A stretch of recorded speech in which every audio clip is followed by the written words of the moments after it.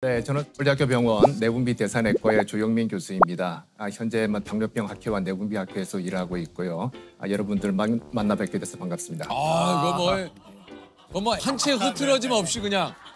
야, 아니 교수님도 굉장히 좀 예약하기 힘든 저 교수님으로 알려져 있는데, 그죠? 아, 네. 예약 꽉 차 있으시죠? 꽉 차 있습니다. 와 실례가 안 된다면 언제까지 차 있으십니까?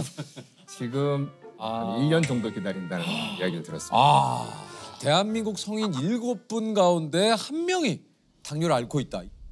이게 사실입니까? 네, 사실입니다. 네? 어, 최근에는 또 조사를 해보니까 여섯 명 중에 한 명이다 이런 이야기 나올 정도로 아, 굉장히 많고요. 그리고 그 합병증이 있는 상태로 진단되는 경우도 많이 있는데 음. 그때까지 자기가 당뇨병이 있는지를 모르는 사람이 또 한 3분의 1 정도 될 정도로 아까 소리 없이 찾아온다고 말씀하셨는데 예. 굉장히 그 문제가 되고 있는 질병입니다.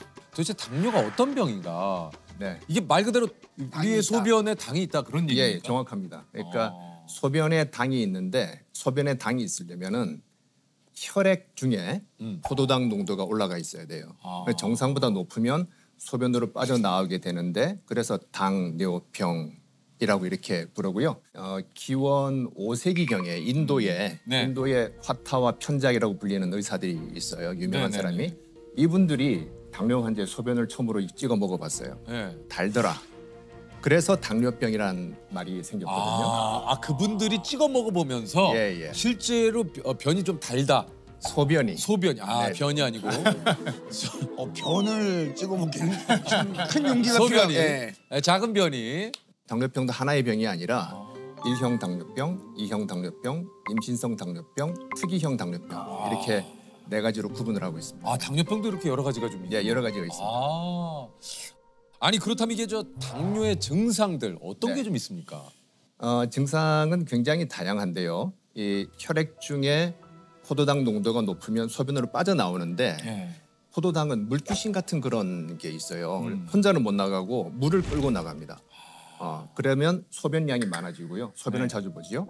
그리고 먹었는데 소변으로 나가버리니까 허기지죠. 허기지죠. 뭐 자꾸 먹으려고 그러고. 음. 그리고 물을 또 많이 마시게 되는. 아또 물을 마시는. 예, 이걸 우리가 삼다증이라 그래서 아 어, 다뇨, 다음, 다식 아, 이렇게 부르고 있고요. 그리고 체중이 아, 잘 먹는데도 빠지는 그런 아. 증상이 있습니다. 그 화장실에 좀 자주 가는 분들 있잖아요. 네. 음. 그분들도 약간 그게 어, 뭐 다 그런 건 아닌데요. 아니죠. 다 그런 네. 물을 많이 먹어서 자주 가시는 분이 계시고. 아 조셉이 지금 예. 화장실 자주 간다는 거 얼굴이 좀 어두워졌는데. 네.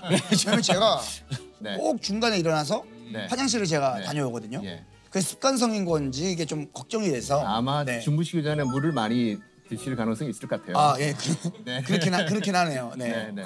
그러니까 요즘에는 저보다도 후배들이 있거든요. 막 30대 초반 친구들. 네. 이 친구들도 당뇨 아니 증상이 있다고 하더라고요. 진짜 우리 조셉도 네. 지금 얘기한 대로 사실은 요즘 20, 30대 젊은 분들도 네. 당뇨가 있다고 하더라고요.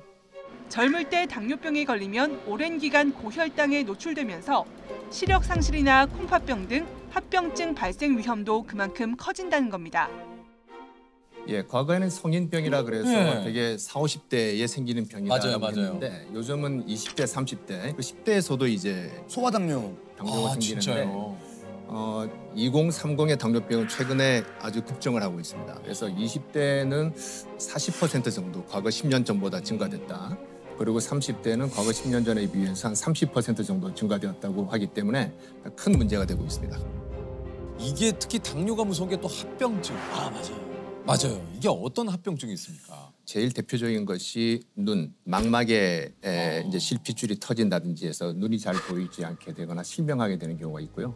그다음에 콩팥, 아, 콩팥에 문제가 생겨서 이제 투석을 하거나 신장 이식을 받아야 되는 그런 일도 잘 생기고 신경, 음. 신경의 합병증이 생기는 수가 있고요. 그 외에 심혈관 질환이라 불리는 그 어, 심장에 있는 관상 동맥 질환, 음. 그 뇌혈관 질환, 그리고 말초 동맥 질환 이런 합병증들이 잘 생깁니다. 합병증 얘기 들으니까 갑자기 또 가슴이 예. 철렁 내려앉는 게 이게 막 아유 이게 아 니 그 이게 어떤 증상이 있을 때 당뇨를 의심할 수 있는지 한번 체크를 한번 해보도록 하겠습니다. 예, 일단 첫 번째로 아까 선생님도 얘기하셨지만 이제 목이 자주 마른다. 예. 두 번째 항상 나른하고 의욕이 없다. 예. 세 번째 많이 먹어도 공복감이 생긴다. 그러니까 이게 계속 허기진다는 얘기죠. 네, 네. 맞습니다. 어, 그리고 네 번째 잘 먹어도 살이 빠진다. 그러니까 굉장히 많이 먹는데도 살이 빠진다. 네. 예. 그 다음에 소변을 자주 본다. 몸에 부스럼이 생긴다. 눈이 침침하다. 어, 아무 증상이 없다. 어이? 아무 증상이 없는데도 이거 체크해야 됩니까? 건강 검진을 많이 음. 받으시거든요. 특히 우리나라에서는. 그렇죠, 그렇죠. 래서 어, 검사 결과 혈당이 높다라고 해서 찾아오시는 분들이 대부분입니다. 네. 아, 아무 증상 없이 오시는 분들이 더 많습니다. 아. 네. 당뇨가 유전이다. 예, 이런 얘기가 또 있지 않습니까? 이게 이제 네. 우리 부모님이 당뇨라 난 좀 조심해야 돼. 이런 얘기들도 좀 주변에서 많이 하시고 어떻습니까? 이게 100% 유전입니까? 어, 우리 당뇨병 중에서 제일 많은 거는 이형 당뇨병인데 이형 당뇨병 같은 경우는 부모님 한쪽이 어, 당뇨병이 있으면 내가 당뇨에 걸릴 위험이 두 배가 증가가 돼요. 그리고 두 분이 다 당뇨가 있으면 거의 한 네 배 정도까지 어, 증가될 수 있기 때문에 유전적인 성향은 강하다라고 말할 수 있고요. 하지만 어, 조선 시대나 지금이나 우리 유전자는 크게 변하지를 않았어요. 과거에도 당뇨병 관계된 유전자가 있었는데 당뇨가 없었기 때문에 환경적인 요인이 강하다. 이전에는 다 걸어 다녔는데 지금은 자동차를 이용하고 계단도 에스컬레이터나 맞아요. 어, 엘리베이터를 이용하잖아요. 심지어 헬스클럽 가면서도 에스컬레이터 타고 올라가세요. 아, 네, 그런 네, 그렇기 있죠. 때문에 확실히 당뇨는 팔자가 아니라는 거죠. 환경적 요인이 강하고 어, 권총의 비율을 든다면 우리가 당뇨병 유전자를 가지고 있는 사람은 아, 총알이 장전이 돼 있는 사람이에요. 당뇨병 유전자가 없는 사람은 그 총알이 장전이 안 돼 있고 하지만 방아쇠를 당기는 거는 본인입니다. 그러니까 어, 식이요 식이 요인 그리고 운동을 잘 안 하게 되는 그런 생활 습관에 따라서 그 방아쇠를 당기는지 아니느냐가 결정되기 때문에 에, 우리가 뭐 집안에 당뇨병이 있다고 해서 너무 실망하지 마시고 잘 노력하시면 방아쇠를 안 당길 수가 있는 거죠. 아니 그러니까 이제 당뇨와 또 비만의 또 좀 이 연관성 네. 어떻습니까?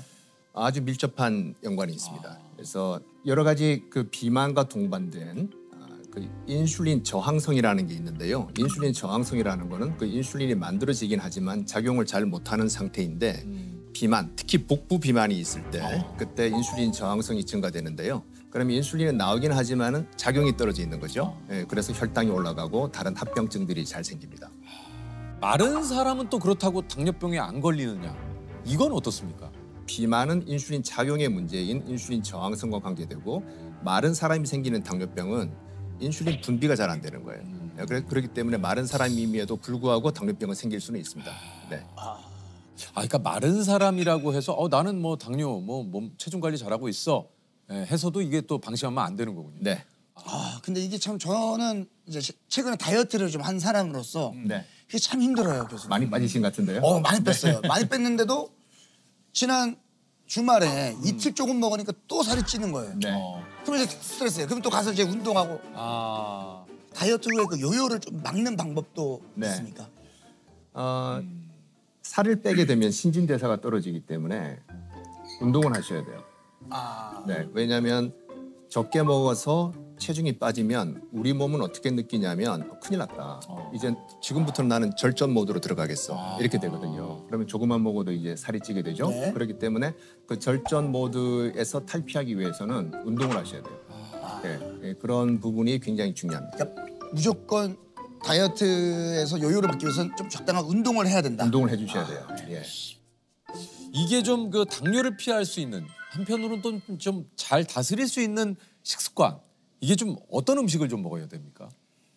그 식이 습관에 대해서 꼭 당뇨병 환자가 아니라도 저한테 물어보시면은 어, 세 가지 정도를 이야기를 합니다. 뭐 첫 번째는 이 음식의 재료를 알 수 있는가. 그 말은 뭐냐면 가공식품 같은 경우는 뭘로 만드는지 잘 모르잖아요. 모르죠, 모르죠. 근데 신선한 재료로 지금 만든 음식은 다 재료를 알 수가 있습니다. 그래서 신선한 음식을 먹자는 이야기고요. 둘째는 아, 총천연색의 식단을 가지자. 청천연세계 식단. 예, 그러니까 미국 그 심장 학회에서는 eat more colors. 그래서 색깔을 더 많이 먹어라라고 하는데 이그 식판에 놓여 있는 음식들의 색깔이 다양하면 골고루 먹고 있다는 거예요. 그러니까 다양하게 먹어라.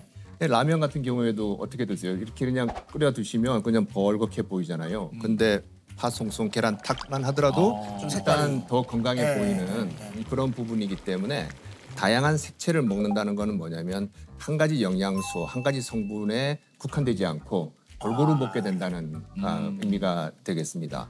그 다음에 세 번째는 어, 300, 세 가지 흰색을 좀 줄이자라고 하는 건데요. 음. 흰 설탕, 흰 소금, 흰 쌀밥 이 정도, 그러니까. 혹은 흰 밀가루, 예, 예, 그 정도를 추천드리고 있습니다. 그 하얀 게 맛있어요. 맛있죠?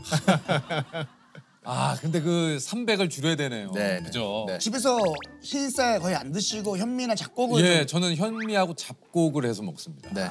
예, 그것도 심지어는 어떤 분들은 또 속에서 안 받는다는 분이 아, 계시기 맞아요, 때문에 맞아요. 그럴 때는 어, 백미를 드셔도 괜찮은데 양을 줄이시라고 좀 줄이고. 이렇게 아. 말씀을 드리죠. 네. 이제 300. 예, 뭐 이제 이걸 얘기를 좀 하셨는데 모든 음식에 거의 설탕이 진짜 많이 들어가잖아요. 이게 좀 그 설탕과 당뇨의 연관성은 어떻습니까? 그러니까 설탕을 많이 먹어 생겼느냐 아니면은 지방을 많이 먹어 생겼느냐 네. 하는데 설탕과 지방의 공통점이 있어요. 뭡니까? 고칼로리. 아. 예, 고칼로리 음식 그리고 고도로 정제돼 있는 이런 음. 어, 그런 영양소들이기 때문에 예, 그런 걸 많이 섭취해서 살이 찌고 인슐린 저항성이 생기고 운동까지 안 하게 되면은 당뇨병이 잘 생기죠. 네. 이게 요즘 그 제로 음료수 되게 많잖아요. 어, 예, 예, 맞아요. 예, 제로 재료를 아, 이제 내세우는 그 제품들이 굉장히 많은데 요거는 좀 많이 마셔도 어떻습니까? 이게 지장이 없는 겁니까? 어, 단기적으로는 그 체중 조절에도 어, 도움이 돼요. 도움이 되고 혈당 조절에도 일부 도움이 되는데 장기적으로 봤을 때는 그렇지 않다라는 거고요. 또 반대의 연구 결과도 있습니다. 뭡니까? 먹었더니 더 살이 더 찌고 더 안 좋더라 하는 그런 연구 결과들이 있는데 아, 그러면은 이제 가끔 이제 주류, 그러니까 술을 즐기시는 분들 중에서도 네. 뭐 이런 얘기들이 있거든요. 와인은 당이 많이 들어가 있는 그 술이고 네. 상대적으로 뭐 증류주는 좀 당이 적게 들어가 있다. 네. 뭐 그런 얘기 있잖아요. 뭐 맥주. 그럼 그나마 추천하신다면 어떤 게 좀 괜찮았습니까? 어, 술이 알코올로 들- 돼 있잖아요. 네. 알코올은 지방 다음으로 칼로리 밀도가 높은 아. 그리고 많이 충격받는데요. 지금 사실은 네. 어, 주변에서 그가 자기 얘기거든요, 지금. 그러니까 자기 술 추천해 달라는 거예요. 제가. 예전에 다이어트를 예. 할때 술을 끊기는 힘드니 제가 그러니까. 증류주를 조금 더 마셨거든요. 예. 그러니까 상대적으로 증류주가 좀 살이 덜 찐다라는 생각이 있어서 아, 칼로리는 굉장히 높은데요. 그러니까 1g당 아, 지방은 9kcal, 탄수화물은 4kcal인데 술은 7kcal예요.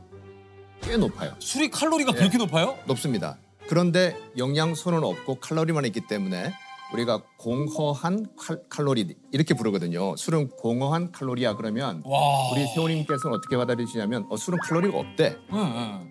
공허한 칼로리라 해서 칼로리가 없대 그럴 수가 있어요. 그게 아니라 칼로리만 있고 영양소가 다른 영양소가 없다는 겁니다. 뭐 비타민, 미네랄 등등등 이런 게 없이 아, 칼로리만 있다. 칼로리 폭탄이다 이렇게 보시면 되기 때문에 네. 그리고 또 한 가지가 그 주류에는 칼로리 표시의 의무가 없습니다. 그래서 주류에는 칼로리가 안 적혀 있고요. 네네. 다만 무알콜 맥주를 사 보시면 거기 써 있어요. 주류가 아니기 때문에 칼로리가 적혀 있습니다.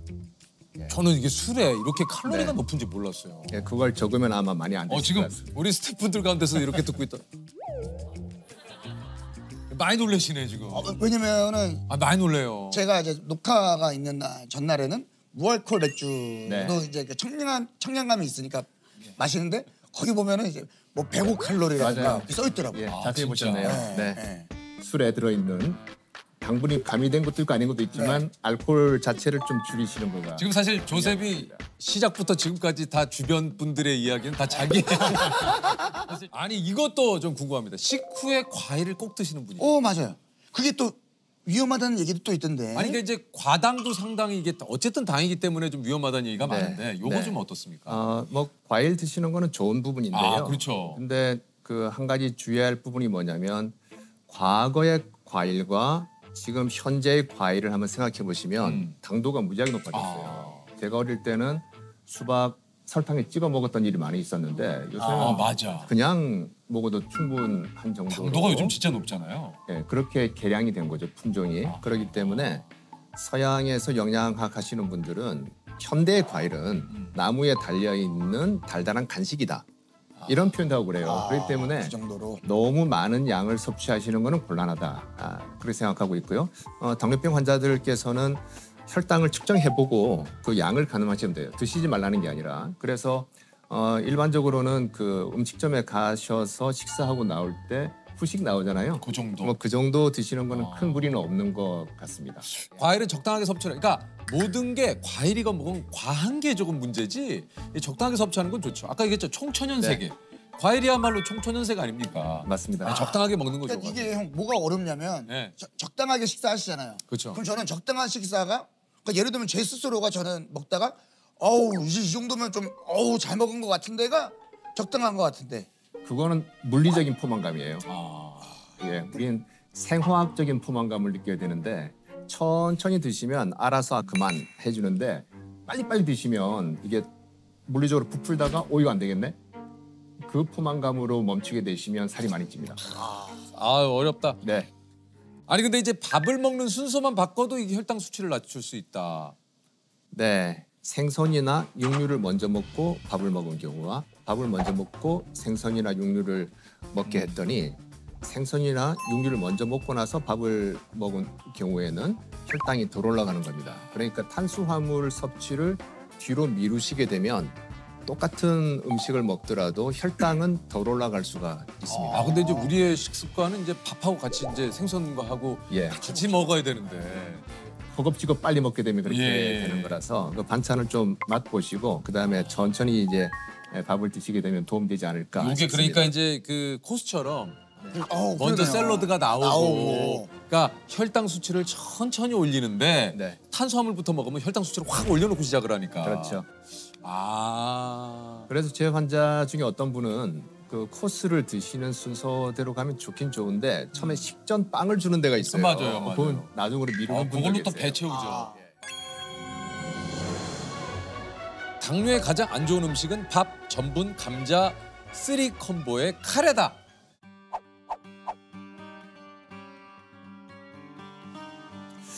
이거는 제가 조금 헷갈려서 이렇게 아, 세모입니까? 하고 싶은데요. 그 전분이 많이 들어가 있는 거는 이제 혈당을 올리는 데 문제가 될 텐데 카레는 음. 어 인도를 중심으로 해서 많이 연구가 됐어요. 그 카레를 만드는 성분 중에 하나 강황이 있는데 아, 맞아요. 강황에 컬큐민이라고 하는 성분이 있는데 이건 오- 오히려 당뇨병을 예방하는 효과가 있다라고 이야. 하기 때문에 어, 카레를 드실 때 너무 전분을 많이 넣게 되면은 이제 그 자체는 나쁠 수 있지만 카레 그 자체는 크게 문제는 없지 않나라고 아. 보고 있습니다.